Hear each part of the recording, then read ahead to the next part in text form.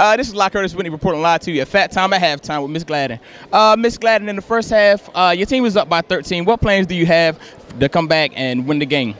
Well, we're hoping that we can keep the pressure up on them, and we're hoping that a few more of our outside shots will go in.